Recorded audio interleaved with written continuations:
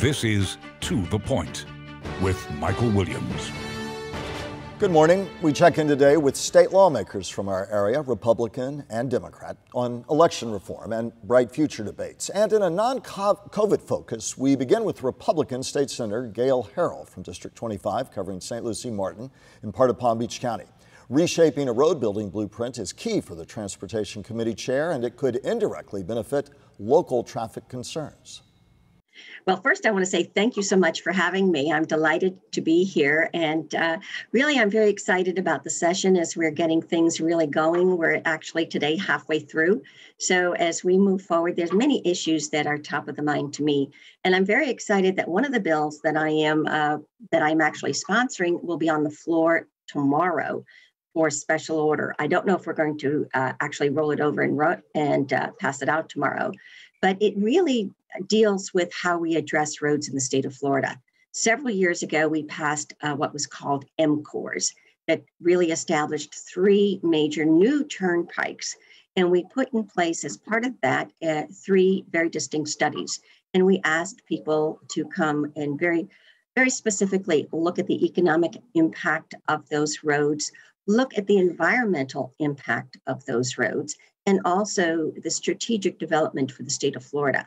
And uh, those reports have come back, and of course, uh, were not as positive as we thought they might be, and really raised some issues that I think need to be addressed.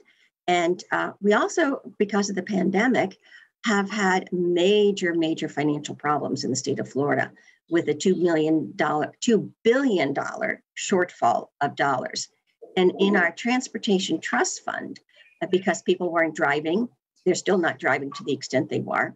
Uh, we've had a real decrease in the amount of dollars we have coming into our transportation trust fund. Very significant decrease, $900 million decrease. Senator, as a practical matter, uh, as a practical matter, then what will your bill do in terms of uh, transportation roads for your constituency? What we're doing is totally rethinking it. And we've repealed that, we will be within this bill repealing that legislation and really kind of refocusing our transportation dollars and looking within our existing road system and how do we rebuild, redo, expand our existing road system rather than going through pristine areas and establishing new major turnpikes that might divide communities, might divide sections of, of large counties and things that really might have a significant environmental impact. In a historically environmentally sensitive community as the one you serve, do you believe this strikes more of a balance to that environmental sensitivity? Was that one of the reasons for your push to say, wait a minute, let's relook? Absolutely. Absolutely. You know, I've been a real advocate for really doing things in a very environmentally safe way. We've put huge resources into stopping the releases from Lake Okeechobee. I did that legislation uh, six years ago, really to make sure we have dollars, consistent, dedicated dollars going into that. So the environment's always been a big issue for me. And I was very concerned, uh, not just from the uh, financial feasibility side, but also from the impact on the environmental side. So I'm excited that this bill is moving forward. Uh, it will be on the floor tomorrow and hopefully passed out either tomorrow or first of next week. Before we move on, will it effectively, and if this is too simplistic, I know you'll you'll you'll say so, but will it mean less roads in terms of new ones going through Martin County, but better expansion of existing ones? Will that be the bottom line you hope will be the end result?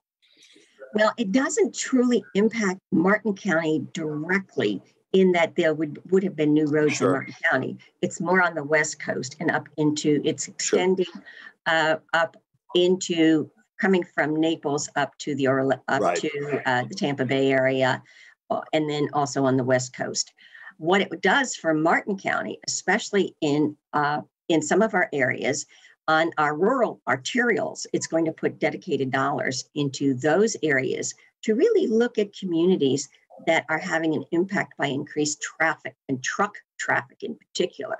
So we can look, say, in Western St. Lucie and Western Martin County, where we are starting to see major truck traffic. It will give us the dedicated dollars that they can apply for uh, through the Transportation Trust Fund to make sure that we do bypasses and we go around our communities and we don't go through our communities. Senator, thank you for walking us through the legislation, giving us a nice education on the direct and really indirect effects of what it does in terms of a shift of focus. I do want to ask you in our remaining time election reform's been a big issue. Republicans talking about the need for election reform. Democrats are saying uh, it's a solution in search of a problem. 2020 went well. They say, well, we're going to have voter suppression. Briefly, your thoughts on election reform. Well, I think it's a step forward in the right direction. Uh, uh, we have been so successful in Florida since 2000. And I remember distinctly the election in 2000 and hanging Chads, pregnant Chads. Uh, I always joke, well, we're never going to have a kid named Chad again in the state of Florida. we have we have made incremental improvements. This is another incremental improvement so that we continue to be in the forefront.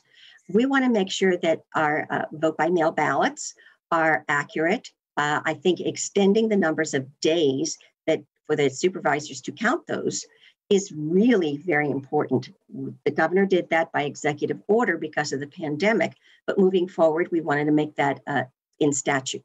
So now the supervisors can actually start uh, counting those early votes and absentee votes up to 45 days before the actual election day.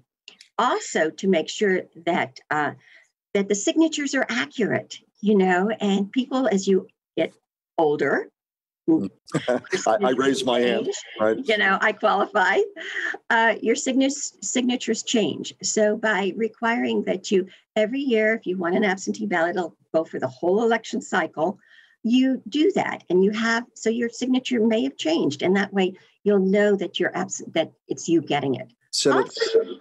Senator, I apologize. There's so much we could talk about, but I do I do need to ask you about one more uh, item before we have to um, uh, uh, uh, wrap up. And Bright Futures has people concerned. There's been a push by one of your Republican colleagues to change it uh, and to say, well, we'll put Bright Futures money toward majors that'll lead to a job. That's gotten a lot of pushback. A lot of people whose kids rely on Bright Future and families are saying, what's going on? What's going to be the end result in your mind? What do you think about it? Well, I had some issues with it too. I have four grandchildren, uh, three grandchildren right here in Florida. I have eight altogether, you know, for whom I hope bright futures will be there. And I, I'm, you know, I share people's concern. I want to make sure that we keep our brightest and best here in the state of Florida. But we also have to make sure that they know what good majors are and what leads to jobs. So I'm really happy with the transformation of the bill. It has majorly changed uh, yesterday as it passed out of committee, uh, it really becomes a transparency tool for students, and it requires that colleges and universities really look across the uh, the economy in the state of Florida and evaluate what jobs are really out there, and that they inform their students. Every freshman will have to get from their college what of the majors in in that university really lead to real jobs and also say what the amount of money they might make and what opportunities there are. But without so, but without allocating money based on the major you ultimately pick. Correct. Okay. It, there, the strike all amendment in committee yesterday made major changes. And it is no longer limiting or uh, excluding people who are majoring in certain areas uh, from Bright Futures. What is saying is we want you to make the choice that works for you, but you need the information to know that maybe that major in underwater basket weaving won't lead to a good job. So, by informing you and requiring universities to do those studies as to what the potential of that major might lead you to, uh, it'll give students the tools to make good decisions. We, of course, will keep you up to date on where her legislation stands. Next up, Palm Beach County Democratic State Senator Bobby Powell and his legislative focus.